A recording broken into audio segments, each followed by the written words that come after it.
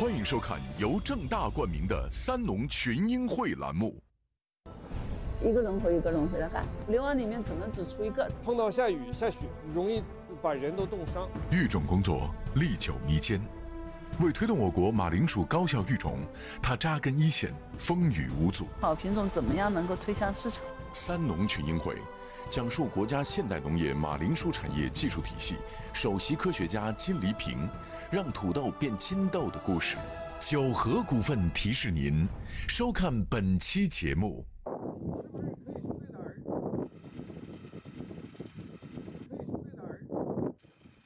五月，我国南方已进入夏天，河北省坝上地区仍然寒风凛冽。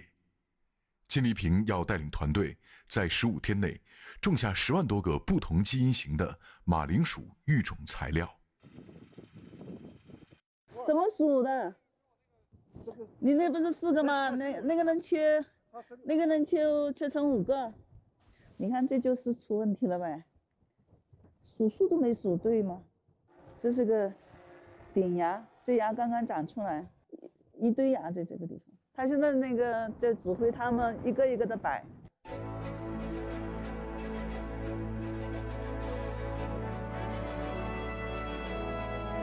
金黎平是我国国家现代农业马铃薯产业技术体系首席科学家，也是农业农村部薯类专家指导组组长。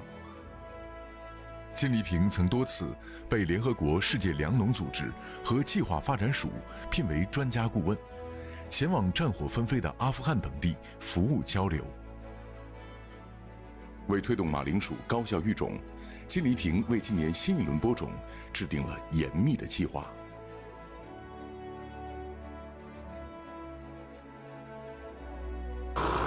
做对照用的，种两行呢，就是可能量不够，看不出来。你种上四行呢，能够让它再表现一下。这个现在我们这个播种的这个中薯十八号，中薯十八号呢是我们，嗯，呃，加工企业淀粉加工企业对我们这个品种，就是还是非常这个非常欢迎的。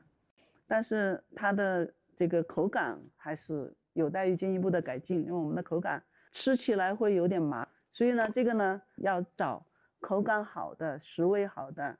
这个综合性状也比较好的这样品种跟中薯十八来做这个配置杂交组合来做杂交，能够满足这个不同的市场需求。顶着漫天的风沙抢播抢种，金丽萍他们一刻也不能停。一个轮回一个轮回的干，即便是现在到这里，起码还要有五六年的时间才能成为一个品种。呃，对，五六万里面只能可能只出一个，这还算是好的运气好的，运气不好没有。风雪沙一直都是很恶劣，碰到下雨下雪，温度特别低，工人干活就是手都伸不出去，容易把人都冻伤。寒来暑往，从事育种工作有太多常人难以想象的孤苦和艰辛。幺八零零二杠二七八四，您把这个放到九号的那个号。每一袋育种材料都有专属编号。种几株，种几行，种在哪块地，都有严格规划。这个是一六年，二百零二个组合，然后是第一千六百八十三个，当时选出来的这个品株系，在地里头种了五年，这个号是唯一的组合号，一点都不能错的。一点儿也不能错，因为一刻也耽误不起。二零一四年九月的一天傍晚，天突降暴雨，金黎平正在张家口市茶北管理区的马铃薯基地里，和大伙儿一起收获育种材料。为了防止这些宝贵的马铃薯育种材料遭雨水浸泡，他带着团队冒雨抢收入库。然而，就在他们返回的途中，意外却发生了。一辆违章越线的大货车和金黎平乘坐的车发生碰撞，金黎平头部受伤，鼻梁骨折，整整缝了十针。当时挺可怕的嘛，血淋了一地。当时大家都劝他不能在这待，回北京好好查查。最后他说没事反正生活也没结束，最后结束了一块回。大概在医院住了有十七八天才出的医院。因为这个团队在这个地方，而且我是带着他们来的。那材料肯定是要收回去啊。一旦收起来也放在那边，放在地里头，两度零度就会就会冻。一种材料一年损失十年、二十年就白干呀。过去，由于我国马铃薯育种工作起步晚、底子薄，自上世纪八十年代美国、荷兰等国家的马铃薯良种进入中国后，就一路突飞猛进，在我国占据了相当大的市场份额。现在国外种子在中国占的比例有多少？大概百分之二十五左右吧，早熟品种多一点，百分之四十九。不是说品种数啊，面积，国外的品种，这个尤其荷兰的，从各种渠道进来的很多，他们营销做得非常好，推广做得非常好。他们就是在这块早熟的这块市场上下了很大的功夫，所以我们这我们其实是属于最最顶流的阶段，现在相持阶段，所以希望我们能把他们顶过去，顶出去，用民族种业嘛，把我们自己的品种能够做到更好。我国地理纬度跨越近五十度，每个季节都在不同地方有马铃薯的播种和收获。金黎平追着马铃薯的生长节律，从南到北，从春天到秋天，一直奔波在科技扶贫、乡村振兴的第一线。我们这个自然村常住人口是个呃不到的一百人，一共分了三年全部脱贫。哦，原来总共能有多少贫困户啊？我们三七户贫困户。这种一亩马铃薯大概能够有多少收益啊？收益啊，嗯，收益估计就是两千多，纯收入两千块钱。差不多。种马铃薯非常高，人工、非人工各方面这个这个资金大的了。对对，投入大。投入大。有什么补贴吗有？有补贴。嗯嗯。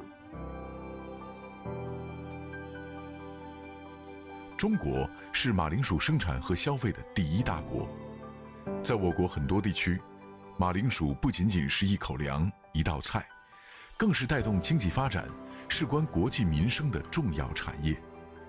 一年到头，金黎平有超过三分之二的时间，都在全国各地的马铃薯主产区、育种基地和体系试验地不停奔忙。八月。华北地区的马铃薯进入快速膨大的关键期，金黎平要马不停蹄地奔赴河北省张家口市的马铃薯生产大县沽源县进行实地调研。这边呢降雨量很低，就是三百多毫米。你现在都滴灌了吧？这是喷灌，你看。啊，是喷灌呢。啊，今天不能浇。刚这两天来点雨，没。缓解点。马铃薯要是旱地的，现在可以说一亩地产个一千多斤的，就等于绝收。不旱的年景下产了六千多斤，但是今年也就是一千多斤，没有水浇条件的肯定就废了。今年马铃薯是这样子的，水不够的时候它就不长，等到一降雨了它就猛长，一猛长以后就就畸形了，另外还有的会裂开，种不好那它就一头大一头小，或者还弯过来，长好几个头，对，不长就不要对。河北省张家口市沽源县，曾是我国的深度贫困县。这里种有三十多万亩马铃薯，由于降雨量少、气候寒凉、土壤沙化，马铃薯成为当地农民赖以生存的主要经济来源之一。家家户户都种，那时候就是把大的吃了，把小的种上，没有什么繁种的啥的，那时候根本就不懂。乡镇之间、互相亲戚之间来回换换，他们家的你拉回去种，你们家的他拉回去种，种的少，就那一种品种你就找不着了。咱们这边就没有，缺少优质良种，曾是当地马铃薯种植户们的心头之痛。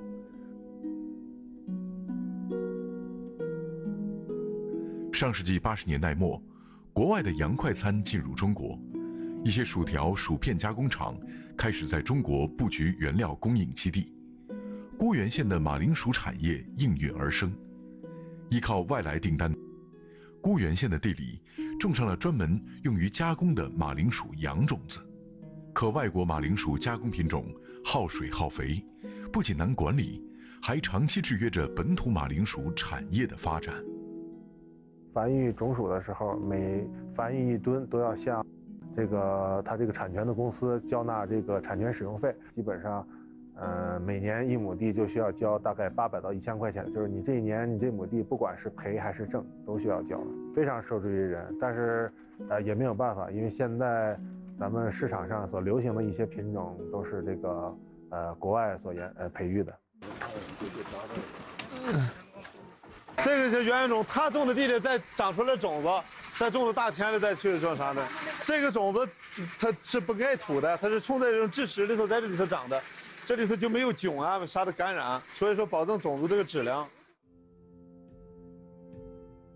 种薯是马铃薯种植户赚钱的关键因素之一。像这样的圆圆种，一颗就能卖到五毛到八毛钱不等。遇上行情好的时候，受欢迎的外国新品种更是一数难求。二零一七年，固原县的马铃薯产业因为品种更新不及时，导致大量滞销，整个行业都受到了巨大冲击。实际呢是一七年收的土豆。完了以后，在市场销不下去，就是包括种子、包括商品，整个全部卖电风厂，啊，连个库存的储存费都不够，就等于在地里白扔了，农户也百分之七八十都亏钱。粮安天下，种子为基，为打赢一场粮食安全保卫战，这些年，金黎平带领团队奋起直追。我们的中国的马铃薯面积和产量是第一大的世界上。我们不是说育不成好品种，而是这个好品种怎么样能够推向市场。我们的科学家们、育种家们可能，尤其年轻的一代，可能要更更注重跟市场去接轨，了解产业的需求。就就像现在有个问题，就我们杂交这一代出现这个情况了，你看看，有怀疑是周叔，怀疑。因为周氏花叶这个是实生种子，它是传的。哦哦，种皮是可以传病的。啊，人家国外说是几十万粒、百八十万粒才出一个品种，所以呢，这里面不出品种是正常。凡是不正常的，尽管去掉。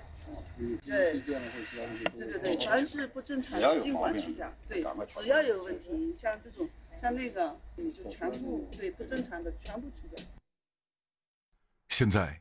有越来越多的中国企业也踏上自主研发的育种之路，他们迫切需要科学指导。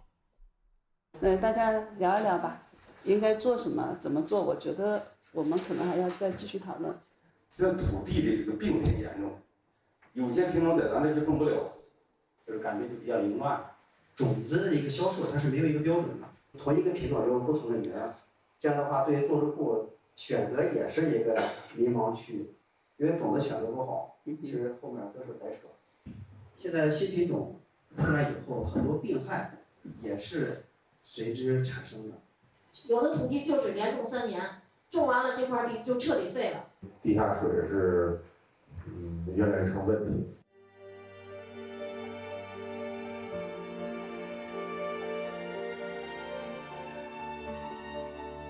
面对大伙儿纷繁复杂的诉求，金黎平感觉责任重大。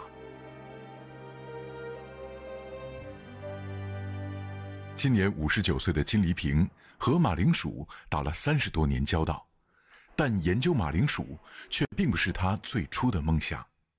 上世纪六十年代，金黎平出生在浙江省东阳县的一个小村庄，家里姐弟三个，他排行老大。一九八零年。金黎平被原浙江农业大学农学专业录取，成为村里第一个大学本科生。然而，就在所有人都为他庆贺的时候，年仅十七岁的金黎平，却捏着那张他寄托了太多梦想和期待的大学录取通知书，哭了。拿到那个录取通知书，就是很不开心，在那哭。我爸我妈很高兴啊！我说我不喜欢学农嘛，真的很累啊！我知道干活那个太累了。我也去做过生产队，我也去争过工分。我们双抢的时候是早上三点钟，凌晨三点得起起床下地，一直干到晚上九点。其实我喜欢读书，我喜欢干别的事情，我也没填志愿，然后就录取了。但是农村的嘛，我我就说我们没有得选择，因为那个迫于一个环境啊，那个时代就是这样子的，所以也就去了。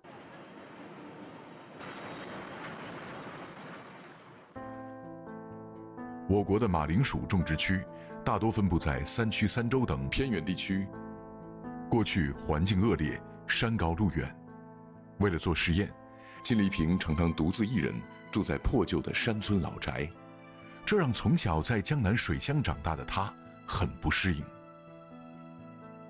是一个南方人住到那个地方，你脏啊，那个被被子什么都油乎乎的，跟晚上睡在一个炕上，然后哪有厕所呀？头发上长过虱子，身上有过臭虫。回到家里头，哎呦那个痒啊，特别受不了，但是也没办法呀。于是怀着孕也得做，也得也得跑，晚上睡觉做噩梦都是马铃薯，那个梦里面一堆马铃薯，真的。因为我是一年一天看到晚，看连续看几天嘛，所以说确实是咬着牙齿。年轻时的金丽萍，很长一段时间都在梦想和现实中苦苦挣扎。然而，强烈的好胜心和责任感，却总让她要求自己：既然做了，就要做到最好。那么我们的品种转育就是种业创新，面临着。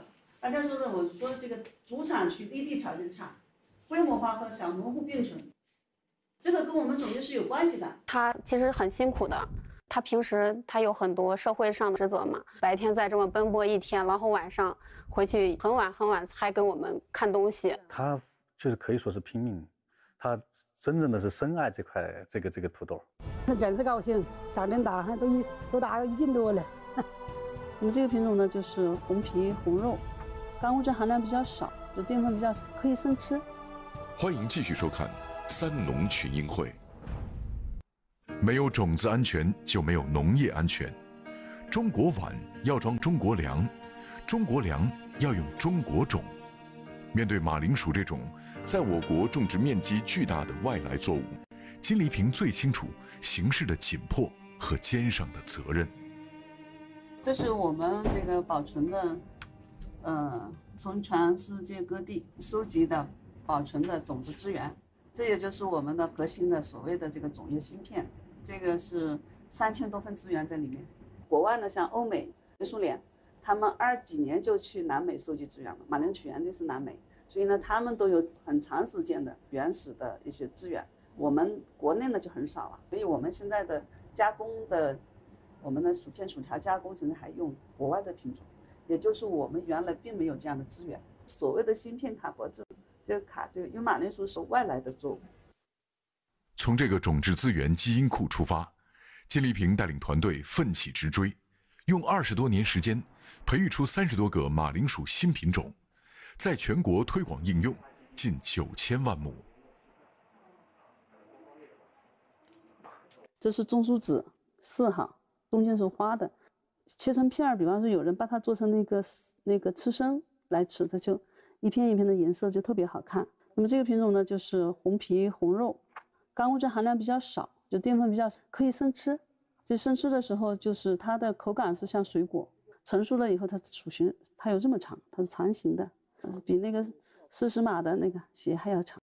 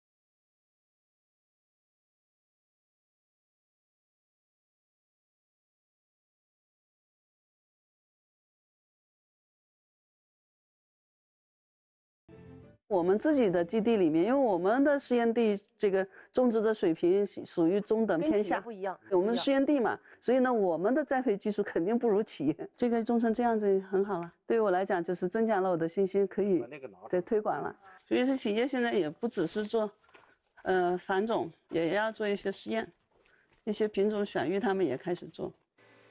宋翠玲是当地一家种薯企业的负责人，过去她一直经营家具生意。刚转行从事马铃薯的时候，他感觉完全没有抓手。最深刻的感觉就是这个行业跟工业工业企业完全不一样。大家都在说这个种薯质量好、质量坏，我就不知道拿什么来评判。无法清楚地分辨和证明种薯质量的好坏，不仅困扰着种植户，也给很多种薯企业的生产和销售出了个难题。我肉眼你是看不出来好和坏的。直到一次偶然的机会，宋翠玲被金黎平的一番话。点醒了。我认识金老师也是源于一次马铃薯的年会上，然后金老师做报告提到了一句说，呃，就不要把这个马铃薯的代数当级别。呃，马铃薯种属其实二零一二年就颁布了国家标准，后来我找到了这个国家标准，我们就开始试着来执行国家标准。按照马铃薯种属国家标准执行生产销售，宋翠玲一下有了抓手，她的企业很快步入轨道。为了让马铃薯产业健康有序的发展，这些年，金黎平不断推进马铃薯种薯质量认证和试点示范工作。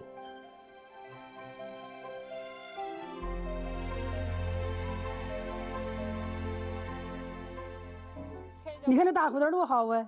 那真是高兴，长真大，还都一都大一斤多了。我就属于这样的科学家，是不？咱们农民心中的最尊敬的人。我们是铁粉儿，我们现在追星就追这个震动在我兜里。当明星的感觉，今天今天啊，这么多，习惯了。就本来就是明星，金老师。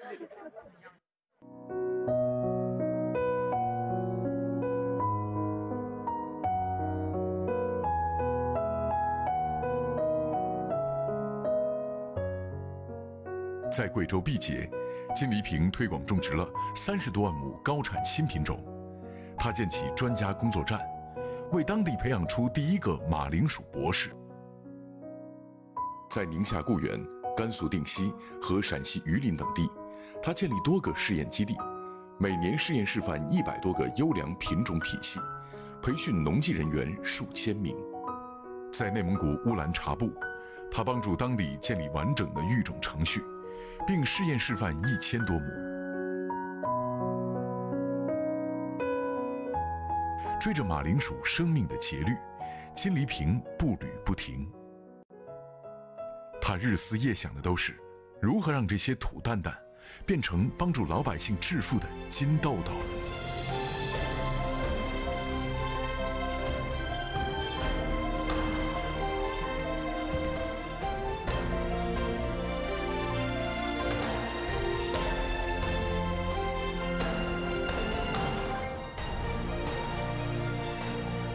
我叫胡军，来自湖北建利，今年三十六岁，从事马铃薯育种相关研究工作。我叫秦军红，今年三十六岁，来自陕西渭南，主要从事马铃薯抗旱栽培和水分生理研究。我叫景云巧，来自陕西阎良，主要从事马铃薯种质资源方面的工作，今年三十七岁。我从事马铃薯分子育种与种子创制研究二十五年，从事马铃薯育种工作二十年。我从事马铃薯研究二十七年了。工作已经二十八年了，希望能用这个现代农业信息技术，让人们种土豆更加简单、更加快乐，提高我们国土化这个品种的一个占比。希望我们的科技队伍越来越强，让种植者更有收益，马铃薯整体的这个产业链的效益更高。欢迎收看由正大冠名的三农群英会栏目。